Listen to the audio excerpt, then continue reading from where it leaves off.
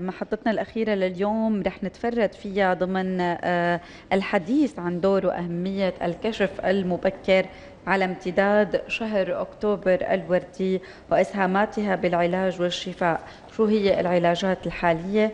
وأسئلة غيرها. طبعا معنا الدكتور أحمد عرقسوسي اختصاصي بالجراحة العامة والتنظيرية. جراحة الصدر سعد صباحك دكتور وأهلا وسهلا فيك. صباح الخير أهلا وسهلا. يسعد صباحك دكتور. بالبداية خلينا نعرف آه، سرطان الثدي تاريخه انتشاره الإحصائيات الأخيرة اللي هل خفت النسب بسبب الوعي على الكشف المبكر أم بعدها بتزايد؟ أول شيء سرطان الثدي هو السرطان الثاني. كان أول شيء السرطان الأول عند الإناث. حاليا مع التزايد صار سرطان الرئة صار تقريبا السرطان الثاني كنسب انتشار حاليا شلون آه برا واحدة من كل تسع سيدات عم يصير معها سرطان ثدي أو مشكلة بالثدي بمرحلة ما من عمرها عندنا لساتها النسبة أقل شوي واحدة من كل آه عشر نساء عرفت علي كيف؟ هلأ النسب عم تزيد ما عم تنقص لسببين، السبب إنه زيادة انتشار السرطان وحسب يعني حنحكي كثير على الأسباب نعم. تبعيتي منه، والشيء الثاني إنه نحن أهمية الكشف المبكر يعني الحملات اللي عم تصير واستقصاءات وفحص الثدي. الذاتي وكذا كل هذا عم يخلي إنه إحنا صرنا عم نكشف إنه سرطانات أكثر بأعمار أقل وأحجام أقل. نعم. خلينا نحكي أيضا عن يمكن هذا الشهر اعتبرناه شهر الوردي لأنه صار في حملة توعية كثير كبيرة بما يخص الفحص المبكر لسرطان الثدي آه، يمكن صار معلومات يمكن هلأ آه، على مدار السنوات اللي مرقت علينا إنه صار في وعي أكثر عند النساء. خلينا نحكي آه، أهمية الكشف المبكر وأهمية التوعية بهذا الموضوع. هلا في نقطة كثير مهمة، من زمان كان سرطان الثدي يعني عند المرأة يعني كارثة كثير نفسية، نعم. سرطان الثدي يعادل تقريبا الموت، هيك كان الفكرة القديمة من قبل 40 50 سنة. حاليا عندنا كثير نساء صار لهم فترة مصابين بسرطان الثدي تعالجوا. أخذوا علاج مزبوط شلون شفيوا الحمد لله. في كثير منهم كان سووا جراحات محافظة يعني ضلينا السد ضل موجود أو جراحات تعويضية عوضنا بروتيزات أو عضلات أو كذا كيف وعم يمارسوا حياتهم في عندنا كثير سيدات صرنا فوق ال 20 30 سنة. فالفكرة القديمة إنه كانت إنه سرطان الثدي سرطان قاتل خلصنا منها هي عرفت كيف؟ نعم. هلأ نحن صفي القصة إنه نحن آه كيف نحن نتعايش معه؟ آه إذا إذا لا قدر الله إذا انكشف. تمام؟ وشو العلاجات اللي نحن ممكن تحافظ في الأنثى على أنوثتها يعني الثدي يعادل الأنوثة عند المرأة عرفت شلون؟ وبنفس الوقت بأقل غض نفسي أو غض جراحي وغض كذا يعني فنحن حاليا أهمية الكشف المبكر هي تجي نحن نكتشف شغلات غير موجودة لسه غير مشسوسه أو بأحجام كثير صغيرة أو بداياتها يعني شلون لحتى نعطي علاج مناسب إن شاء الله تعالى بأقل تكاليف سواء غضيا أو تجميليا. طيب شو هي العلاجات الحالية لسرطان الثدي؟ هلا نحن علاجات بتنقسم عندنا علاج جراحي علاج علاج هرموني كيماوي شعاعي بس نحن كفكرة أساسا كان دائما من زمان قالوا عمليه هالستيد هالستيد المعدلة كذا كاستئصال. حاليا نحن عم نحكي بشيء بشغلتين. أول شيء استئصال ثدي جزئي قسمي يعني بس عم ناخذ يا دوب كتلة تكون تكون كثير صغيرة شلون؟ نعم. أخذنا علاج كذا وحواليها قصة.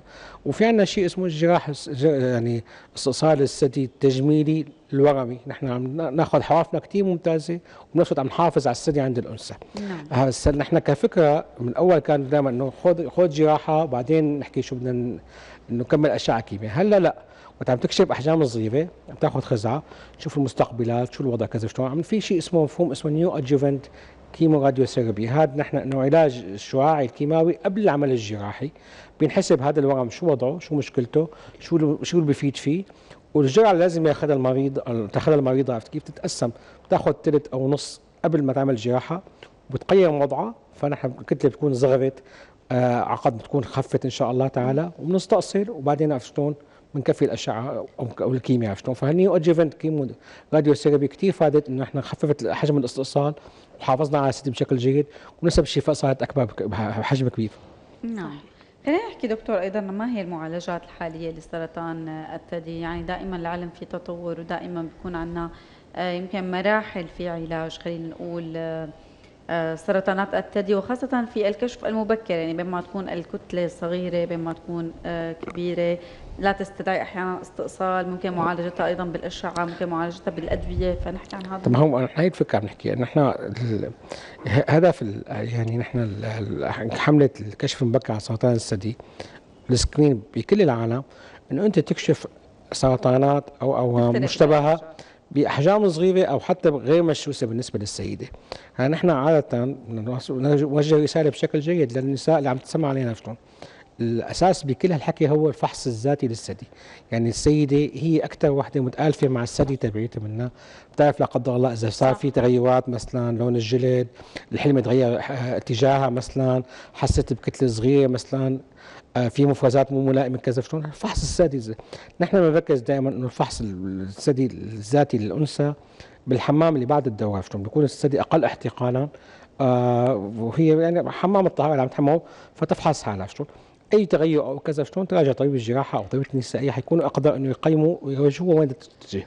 هلأ نحن الحملة اللي عم تصير نحن هي بسموها نحن انه نحن screening نحن في عنا أول شيء الأعمار المستهدفة فوق ال 40 45 تمام؟ المفروض كل سيدة تساوي فحص آه الماموجرام عرفتوا مرة واحدة على الأقل عرفتوا هالعمر بين ال 40 وال 45 هذا حيكون أساسي للفحوص اللاحقة حتى نقارن فيها. في حال الشك أو كذا ممكن يستكمل الفحص فحص إيكوغرافيا شلون نعم. وحسب التوجه نحن في عندنا مقياس معين شلون شعاعي شلون بيحددوا إنه هي بدها خزعة هي بدها مراقبة هي ما بدها نعم. هي كذا شلون حسب منه بقى بنتوجه للمراحل الثانية تمام الحديث. هلأ الماموجرام نحن كنا الحملة صرنا عمليه ثلاث سنين. بده يندرس الماموجرام أول ماموجرام بيندرس من شخص عنده خبرة أقل شيء ب 300 قراءه شعاعيه إذا في شك كذا حيشوفوا لشخص ثاني أو شعاعي آخر. خبرته فوق 600 حاله شلون وهدول بقى يعني بي يقيموا حسب المقياس اللي عم نحكي عنه شلون إنه في حاجة لخزعة لا بدها مراقبه بس. في حاجة تداخل جراحي مباشر وكذا. هاي الترتيب تبعيتها منها.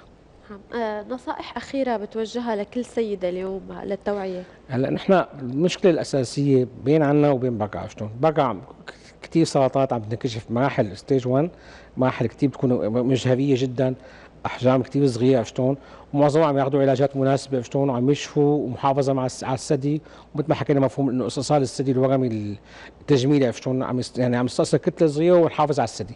هون نحن للأسف كثير حالات عم تنكشف كثير متقدمة. السبب الأساسي نحن عندنا الأنثى الخوف يعني ما بدي يكون معي كذا لا يمكن مو هيك شلون نفسيا شلون نحن المرض يعني من الله شلون مو عيب الواحد اذا انصاب أو كذا عيب إنه ما ما يتعامل صح مع المشكلة تبعته منه. ففي حالة الشك بأي مشكلة أو كذا شلون تراجع الطبيب المختص سواء طبيب الجراحة أو طبيبة النسائية هي بتقيم إنه المشكلة هي بدها تداخل أكثر أو خلص يعني شغلة سليمة إن شاء الله تعالى.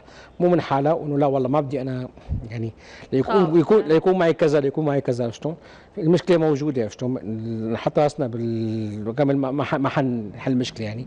قد حنفقم المشكلة أكثر عرفتي؟ والفحص الذاتي شلون هي حكينا عنه كل شهر بشكل ذاتي. المفروض إنه تتدرب الانثى عليه وقت ما تكون يعني وقت البلوغ. والماموجرام هلأ ضمن الحملة أو خارج الحملة كل سيده بين ال 40 45 شلون لازم تعمل ماموجرام مرة واحدة على الأقل. أكيد. يعني دكتور يعني يمكن مع هالمعلومات آه، يعني المفيده اللي قدرنا هيك ناخذها من حضرتك. وصل صباحنا لختام وبدنا نتشكر وجودك معنا بدنا نتشكر المعلومات اللي قدمت لنا إياها. وإن شاء الله يا رب هيك يكونوا آه، جميع السيدات قدروا يستفيدوا منها وخاصة في مجال الكشف المبكر عن سرطان الثدي للحد من انتشاره. وإن شاء الله السلامة للجميع شكرا لك. عفوا. شكرا لك ولوجودك.